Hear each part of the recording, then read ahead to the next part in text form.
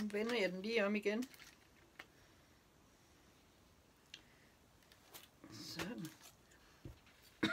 Nå, det er ikke der, det er stærkt.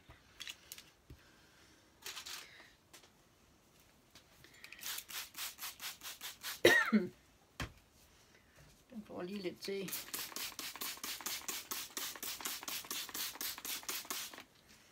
Så. Og vi trykker igen. Det ser i hvert fald ud som om, at den, den tager gode farver.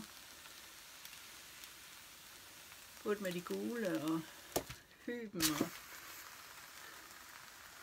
dem ude fra vejkanten, eller hvad her er det, mor- nej, hvad er det, smørblomster, og så de andre ude fra grøftekant. Grøftekantblomster.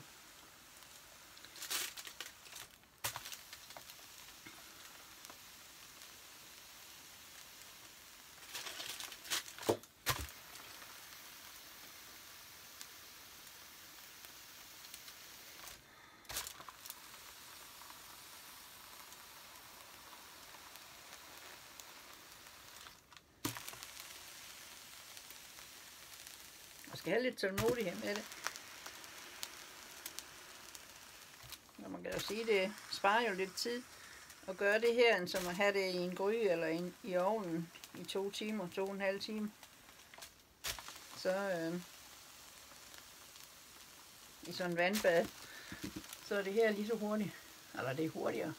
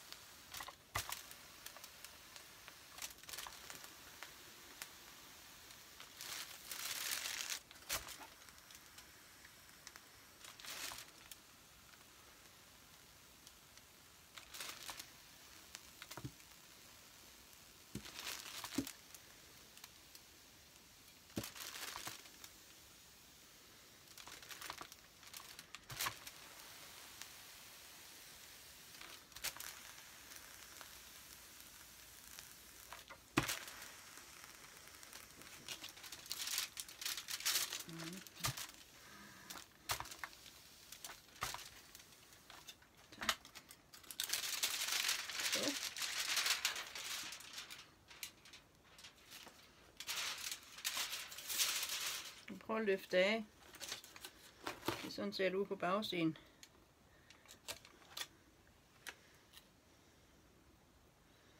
Nu lufter der en af nu. Ser hvad den siger. Ups.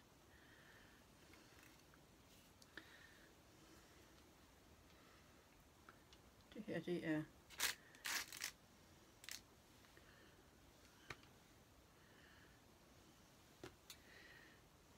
Altså lidt har, har det givet øh, hymerosen. Har givet lidt farver. Det har den.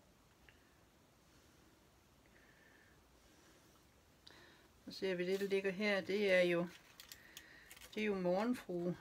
Altså nu er de ikke pillet af endnu. Det er jo morgenfrue og hyben. Og marguerit og blade og smørblomst. Der kan vi se, at smørblomsten giver i hvert fald lidt gult. Man er lidt spændt på den der, om den giver noget. Så er det bladene her. De giver også bare lidt gult. Det var skvallerkål, det giver også bare lidt gult. Så er det den her lidt gult. Antyrer lige lidt. Så er det den her. Og så er det morgenfruen. Og den bliver sådan lidt rød violet. Altså mest i midten.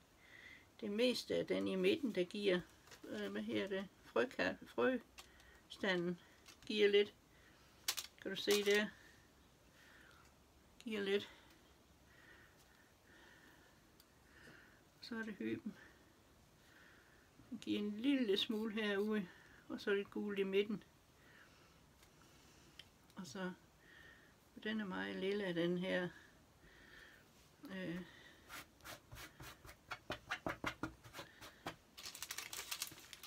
så det ser sådan her ud. Det blev også okay. Det gjorde det.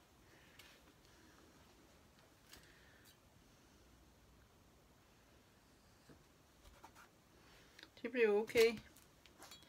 Jeps.